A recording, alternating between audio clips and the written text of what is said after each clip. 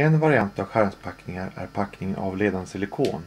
Det är silikon som är dopat med olika metaller.